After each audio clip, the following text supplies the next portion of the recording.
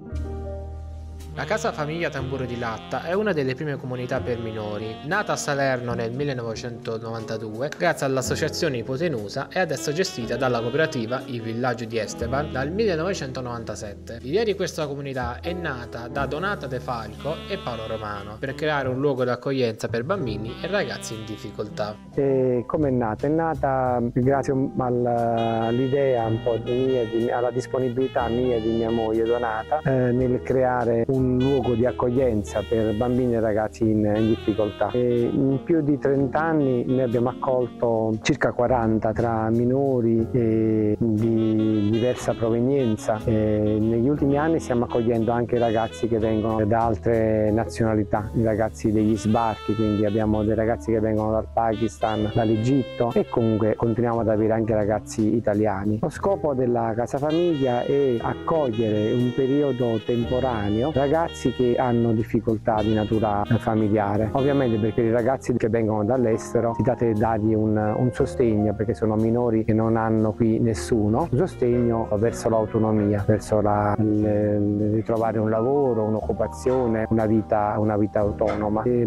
come è organizzata la casa famiglia? È organizzata come una famiglia. Con l'aiuto della figlia e degli educatori si impegnano ad aiutare i ragazzi con programmi personalizzati e aiutandoli a farli entrare nel mondo scolastico e lavorativo educativo. Come fa notare Paolo Romano, dietro a tutto questo c'è un grosso lavoro educativo, come figure genitoriali, dove si costruisce un progetto educativo per ogni ragazzo, trattando con cura la situazione dei ragazzi, dato che risultano molto complesse, dove non è facile il rientro nelle famiglie naturali, oppure risulta difficile per i ragazzi stessi diventare autonomi. E, e però la cosa che volevo sottolineare è che la casa famiglia è una famiglia come le altre, quindi è in un normale condominio e vive le dinamiche di una famiglia e questo la, la rende una esperienza speciale, particolare, quindi non è né un servizio sociale tradizionale, è una famiglia allargata, una famiglia che diciamo, si allarga all'accoglienza e, e quindi a, a un lavoro genitoriale di altri ragazzi temporaneamente.